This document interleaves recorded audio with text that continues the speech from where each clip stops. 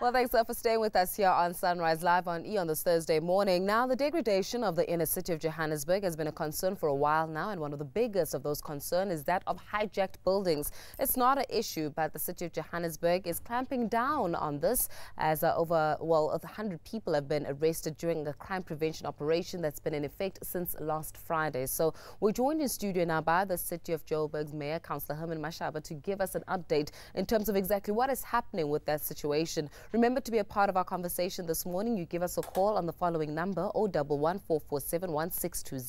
and you can also feel free to leave your comments on our Facebook as well as our Twitter pages. Welcome back. It's been a while since we've had you in our home. Yeah, no, thank you very much for this great opportunity. Moreover, to speak about something that's very close to my heart. Yeah. A problem, a challenge that um, that I need to sort out. A mm. huge problem. Uh, it is a massive problem that you need to sort out, and I know that I know that the issue escalated when the Cape York building burnt down, and then you found out that which is amazing. And you found that there were actual shacks within the, the buildings themselves. So there was a whole city within a building right? And how did you deal with that issue? And where are the people now? Yeah, well, I think you remember when uh, about two months ago when that little girl from Soweto was uh, kidnapped by cr criminal syndicates, mm. turning our children into prostitutes. And um, when I became aware about this, uh, I went in, I led the police uh, to, to go and look, uh, find her. Unfortunately, we couldn't find her on that particular day in the very same building. And uh, remember I expressed my concern with the living conditions of our people in, in this building. Yeah. And a month later, seven lives lost. Uh, huge challenge. And we're sitting in the city of Johannesburg now with over uh, 80 buildings like that that are hijacked by these criminal syndicates. Mm. Why so you 80 buildings that are hijacked specifically by the criminal syndicates because most of those people that are living within those hijacked buildings are not even from South Africa. Yeah, a big yeah. number of them are not South African, some of them with no documentation whatsoever. Mm. I'm sure uh, you remember quite well on the 1st of December 2016 when I was giving my 100-day speech, mm. uh, I'd already assessed the situation And I brought this in good faith to South Africa and the world that uh, we're sitting with a problem. We have to deal with this criminality that's happening in our town. Weren't you seen though as xenophobic and, when you said those words? And, and I said I need uh, national government to assist us as a city with the competencies of, uh, of immigration. Mm. And unfortunately, the former Minister of um, uh, uh, Home Affairs went on an on attack calling me names, calling me xenophobia. Now look at it. We lost uh, seven people last week. And now if you look at the living conditions of our people in some of these buildings. Anything can happen anytime. Yeah. So this matter is actually an, an, an, emergency. It is for that reason we are intensifying our, our, our rates our people living in these buildings in the inner city can expect on a daily basis. We are, we are going to be raiding. Okay, so what happens when you raid? Because, and it's so funny because I was speaking to someone from your office as well regarding the matter, the very same matter about hijack building. They were saying, you know what, Faith, people, children as nine, as young as nine years old are being used as prostitutes oh. within those buildings themselves. So those are the types of the realities that are being confronted Giving with. drugs. Even drugs, right? So what happens? So you guys come in, you raid those buildings, you get the people out, and you can see some of the visuals on your screen right now then where do you put them? Because if you're going to put them in a stadium or etc., it exposes them to even well, harsher living think, conditions. I think we need to look at this matter in a, in a proper context. Yeah. This matter didn't just happen overnight. It happened uh, over many years of uh, the breakdown of the of law and order. When when when you allow a city to degenerate to uh, a slum in just under 20 years, there's, there's a problem. Mm. You have these open borders. South Africa, you can do your own research with the only country in the world with such porous borders that people can come in and out, including criminals. Yes, we do have uh, people coming into our country, running away from their countries for political reasons. And I think as a country, we have the responsibility to look after but what happens them. to those people but, but when the, they get but, removed? But the criminal element, yeah. we just cannot. South Africa cannot be a, a, country where we harbor criminals, where people commit serious, heinous crimes in their countries, come and hide in our country, you know, the city of Johannesburg with, uh, with the student uh, population, we know we've got big universities. So you can imagine the number of uh, students who are, uh, uh, families are doing everything possible mm. to ensure that these kids one day can better the lives of our country and so forth. Now they're, so, be, they're being harassed. You're still not answering my question, though, about you, you, you've got in, you've raided these buildings, you, you, you see the syndicates, you've seen the crime syndicates, you see the heinous things that are happening within those buildings. You remove them. Where do they go? Now, let me tell you Yeah. uh, what we are doing with these raids right now. We're doing the profiling as a city Mm. because uh, next week I'm having a, a- a full day session with the developers, private developers.